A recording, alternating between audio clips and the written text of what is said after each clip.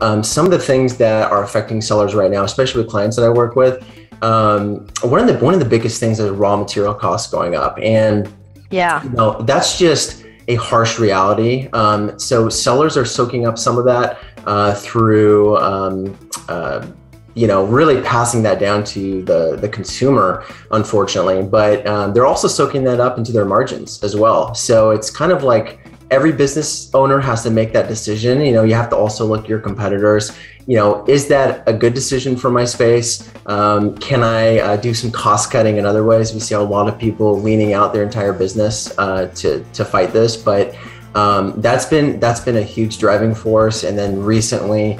Uh, Shenzhen shutting down. Um, anytime you have a major export city and manufacturing cities um, shut down like this, it's going to put additional pressure.